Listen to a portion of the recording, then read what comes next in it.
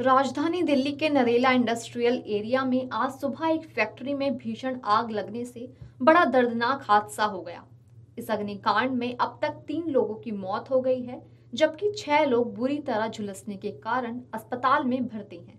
दमकल की गाड़ियाँ आग पर काबू पाने में जुटी हैं। जानकारी के अनुसार शनिवार तीन बजकर पैंतीस मिनट पर पुलिस को एक फैक्ट्री में आग लगने के संबंध में पीसीआर कॉल प्राप्त हुई थी। उस वक्त लोगों के अंदर फंसे होने की कोई जानकारी नहीं थी।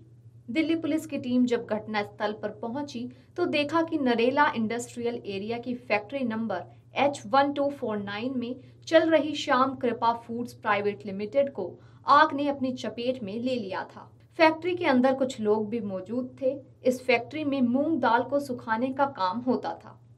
पुलिस ने दमकल कर्मियों की मदद से फैक्ट्री के अंदर फंसे कुल नौ लोगों को रेस्क्यू कर उन्हें नरेला के एसएचआरसी अस्पताल में भर्ती कराया। अस्पताल पहुँचने पर जाँच के बाद डॉक्टरों ने तीन घायलों को मृत घोषित कर दिया, जबकि झुलसे हुए छह अन्य लोगों को इलाज के लिए सफदरजंग अस्पताल रेफर कर दिया गया है, जिसमें कि शाम 24 वर्ष पुत्र जगदीश, राम सिंह 30 वर्ष पुत्र गिरजा शंकर और बीरपाल बयालीस वर्ष पुत्र राजा राम के रूप में हुई है। जलने के बाद इन्हें बेहोशी की हालत में अस्पताल लाया गया था।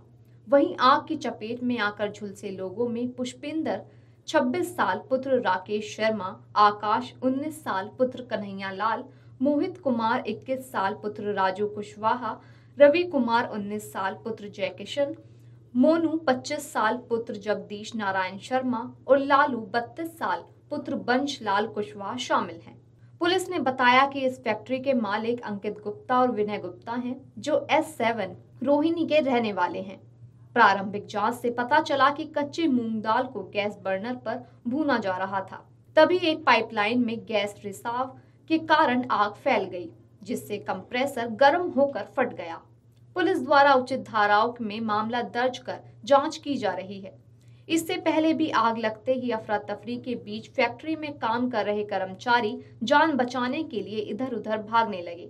फैक्ट्री के कर्मचारी ज़ोर ज़ोर से बचाने की आवाज़ें भी लगा रहे थे। इस बीच लोगों ने फायर विभाग को घटना की सूचना दी। फैक्ट्री के चारों तरफ़ दहशत का माहौल है। साथ ही आपको बता दें कि दिल्ली में पिछले कुछ दिनों से जारी भीषण गर्मी के बीच आग की घटनाओं में भी वृद्धि हुई है। इस घटनाओं को पैच इन घटनाओं को देखते हुए दिल्ली सरकार ने सभी संबंधित एजेंसियों से सुरक्षा उपायों पर ज़ोर देने को लेकर एक निर्देश जारी किया था।